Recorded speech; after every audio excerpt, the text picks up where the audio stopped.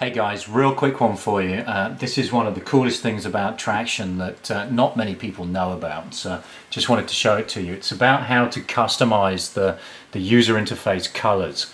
Um, I have a couple of favorites and you can customize it super easily. So just want to show you this. Uh, to do this, you just go into the settings page, choose your user interface, and then go to launch color editor.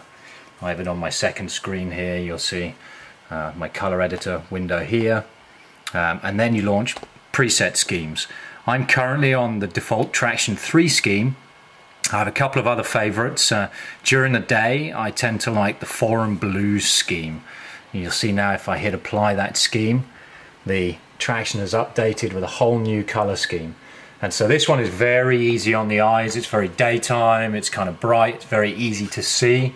Um, definitely uh, one of my daytime schemes for kind of long sessions because it's very very easy on the eyes um, if I keep my color editor open on my other screen I can actually very quickly and easily try a few different ones. So don't think you have to shut this uh, little color editor down. So we come back I can try another one.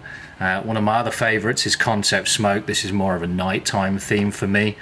I try that scheme as you'll see it's a darker more moody color scheme that comes up there. Again it's kind of got that nighttime energy um, you know very fun. Um, and again you know lots of different ones in here some of our uh, users post these as well so if you go on the KVR site there's there's a whole thread about some of your favorite uh, color schemes uh, as you'll see here in the list there's a bunch of defaults that just come bundled with Tracktion and then there's a bunch of uh, other ones to be had out there. As I say, lots of different shades. And you can also go in and customize any of these yourself as well. So if you're feeling adventurous and you want to go in and customize any aspect of it, every part of the app is here for you to customize its color, look and feel. So very cool.